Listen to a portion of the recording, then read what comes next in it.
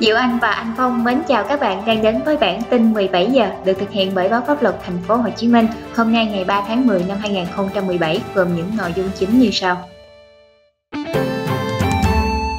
Trộm chó dùng súng điện bắn bị thương công an. Vụ tiêm thuốc an thần cho heo đình chỉ tổ trưởng hai tổ phó chi cục thú y. Cục phó giải thích mang 400 triệu từ Hà Nội vào mua đất. Quay phim rồi tống tiền cảnh sát giao thông ở Đồng Nai.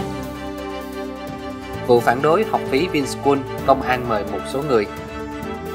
Xử phạt quán trà sữa miễn phí cho người mặc bikini. Chưa có thông tin người Việt bị thương vong trong vụ xả súng ở Las Vegas. Và sau đây là thông tin chi tiết. Công an huyện Củ Chi, thành phố Hồ Chí Minh đang tạm giữ hình sự Nguyễn Tấn Đạt 21 tuổi và Trần Văn Tốt 24 tuổi cùng trú tại huyện Hóc Môn, thành phố Hồ Chí Minh về hành vi trộm cắp tài sản và chống người thi hành công vụ. Theo điều tra ban đầu, rạng sáng ngày 22 tháng 9, Đạt điều khiển xe máy chở Tốt chạy trên nhiều tuyến đường ở huyện Củ Chi, dùng nỏ điện tự chế để bắn chết hai con chó. Khi tới địa phận xã Tân Phú Trung thì bị tổ công tác của công an xã Tân Phú Trung phát hiện ra dấu hiệu dừng xe để kiểm tra do có dấu hiệu nghi vấn. Tuy nhiên hai kẻ không chấp hành lao xe tông vào tổ công tác, Tốt ngồi sau dùng nỏ nhắm thẳng vào tổ công tác bóp cò. Nỏ tự chế trúng vào tay của một công an viên khiến người này bị thương. Cả hai sau đó bị khống chế cùng tăng vật là nỏ tự chế, bình ắc quy và hai con chó. Sáng nay 3 tháng 10, tại hội nghị lần thứ 14 Ban chấp hành Đảng bộ thành phố Hồ Chí Minh, ông Nguyễn Phước Trung, Giám đốc Sở Nông nghiệp và Phát triển nông thôn đã yêu cầu chi cục thú y đình chỉ ngay tổ trưởng và hai tổ phó thuộc chi cục thú y để phục vụ cho công tác. Ông Trung cũng yêu cầu lãnh đạo chi cục thú y, lãnh đạo trạm thú y huyện Củ Chi và 17 cá nhân ở Lào Mổ làm bản kiểm điểm. Như pháp luật thành phố Hồ Chí Minh trước đó đã thông tin, ngày 28 tháng 9, Bộ Nông nghiệp và Phát triển nông thôn phối hợp với Cục Cảnh sát phòng chống tội phạm về môi trường, Bộ Công an đã bất ngờ kiểm tra cơ sở giết mổ Xuyên Á. Tại thời điểm kiểm tra, cơ quan chức năng bắt quả tang heo tại đây bị tiêm thuốc an thần trước khi đưa vào giết mổ. Cơ quan chức năng còn phát hiện 6 vỏ chai thuốc Cambitret, một dạng thuốc an thần, hơn 500 chai đã pha sẵn thuốc an thần 50ml một chai. Sau buổi làm việc, cơ quan chức năng cho phép đưa vào giết mổ khoảng 500 con heo, xác định không bị tiêm thuốc an thần. Khoảng 5.000 con heo còn lại ngừng đưa vào giết mổ do nghi ngờ đã bị tiêm thuốc. Cơ quan chức năng cũng đã lấy hơn 70 mẫu nước tiểu heo để xét nghiệm. Một thành viên trong đoàn kiểm tra cho biết tiêm thuốc an thần cho heo nhằm mục đích giúp thịt mềm, dẻo. Sáng ngày 3 tháng 10, theo nguồn tin cho biết tổ giám sát của Tổng cục Môi trường Bộ Tài nguyên Môi trường đã báo cáo sơ bộ kết quả làm việc với Công an tỉnh Long An, Công an thành phố Tân An xung quanh việc ông Nguyễn Xuân Quang, Cục Phó Cục Kiểm soát Hoạt động Bảo vệ Môi trường, mất số tiền lớn. Nguồn tin này cũng cho biết thêm, tổ giám sát hoạt động của đoàn thanh tra đã làm việc với ông Phạm Hữu Châu, Phó Giám đốc Công an tỉnh Long An, ông Trương Văn Chấm, trưởng Công an thành phố Tân An, Kết quả nắm tình hình, làm việc trực tiếp với cơ quan công an, đơn vị trực tiếp điều tra ghi nhận vào ngày 26 tháng 9, Công an thành phố Tân An nhận được tin báo vụ mất trộm tại khách sạn TV2, thành phố Tân An, Long An. Cơ quan điều tra đã làm việc với ông Nguyễn Xuân Quang, Cục Phó Cục Kiểm soát Hoạt động Bảo vệ Môi trường, người đến khách sạn Thanh Vân 2 thuê phòng trọ trong thời gian thực hiện nhiệm vụ thanh tra. Ông Quang khai báo với cơ quan công an bị mất cắp một bao da, trong đó có một laptop và số tiền là 385 triệu đồng. Cơ quan công an cũng đã thông báo với tổ giám sát hoạt động của đoàn thanh tra tại tỉnh Long An về nội dung ông Quang khẳng định với cơ quan công an số tiền mất là tiền cá nhân mang theo chuyến công tác để điều tra giải quyết việc gia đình.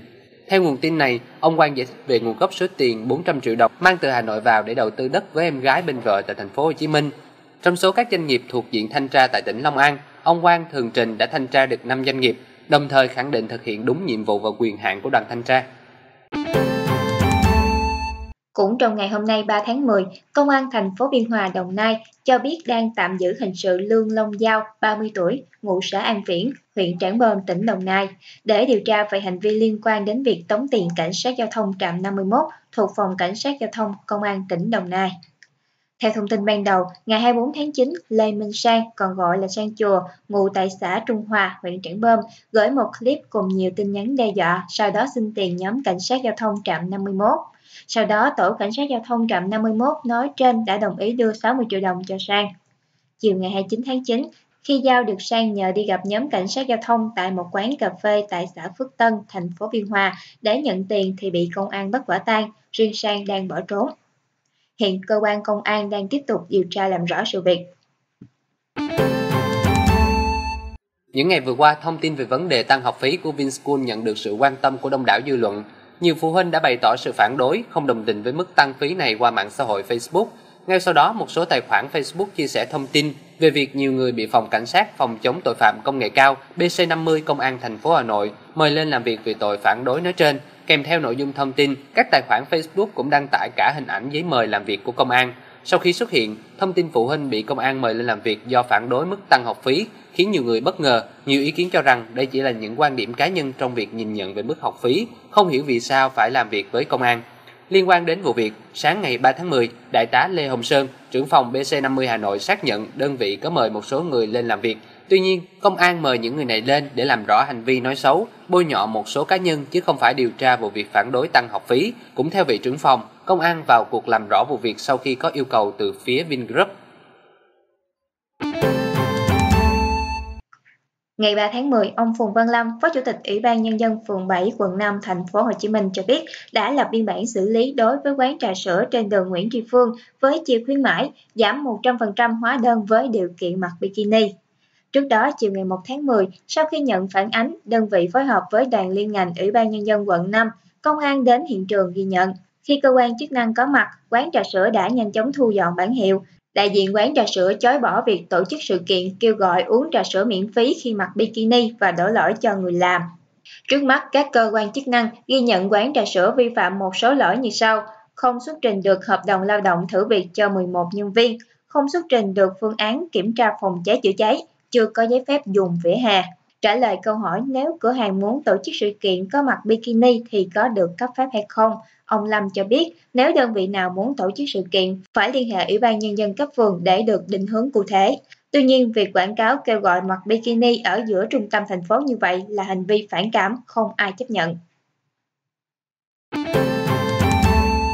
Nguồn tin từ Đại sứ quán Việt Nam tại Mỹ cho biết, tính đến 11 giờ tối ngày 2 tháng 10 theo giờ bờ Đông và 10 giờ sáng ngày 3 tháng 10 giờ Hà Nội, chưa có thông tin về người Việt nào thương vong trong vụ xả súng đẫm máu tại thành phố Las Vegas tại bang Nevada xảy ra trước đó một ngày làm ít nhất 59 người thiệt mạng và 527 người bị thương. Đại sứ quán Việt Nam tại Mỹ, ông Phạm Quang Vinh đã chỉ đạo các bộ phận liên quan liên tục cập nhật thông tin về vụ xả súng, đồng thời liên hệ với Sở Cảnh sát và Sở Ngoại vụ thành phố Las Vegas để nắm tình hình cộng đồng người Việt tại đây. Theo các nguồn tin trong cộng đồng, có khá nhiều người Việt làm việc trong khu vực xảy ra vụ xả súng ở khách sạn và sòng bạc Mandalay Bay ở Las Vegas nhưng đa số là làm về các ngành dịch vụ như dọn phòng, chia bài. Trong khi đó, buổi hòa nhạc được tổ chức ngoài trời, nên xác suất có người Việt gặp tai nạn là không cao. Vụ xả súng không chỉ một lần nữa trở thành hồi chuông cảnh tỉnh đối với việc kiểm soát súng đạn, vấn đề đang gây tranh cãi nhiều năm qua tại Mỹ, mà còn khiến nhiều nhà chức trách nước này phải đối mặt với một thách thức an ninh lớn hơn nhiều, đó là làm sao ngăn chặn được con sói đơn độc tiến hành các vụ tấn công đơn lẻ kiểu Las Vegas hay vụ xả súng tại một hộp đêm ở Orlando, bang Florida năm 2016 làm 49 người thiệt mạng.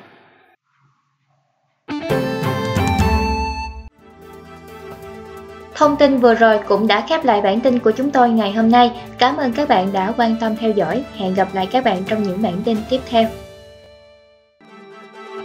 Bạn đã cập nhật tin tức ngày hôm nay. Bạn quá bận rộn để theo dõi những thông tin pháp luật trong và ngoài nước. Hãy đến với chúng tôi. Bản tin 17 giờ được phát sóng từ thứ hai đến thứ sáu hàng tuần trên kênh blo.vn.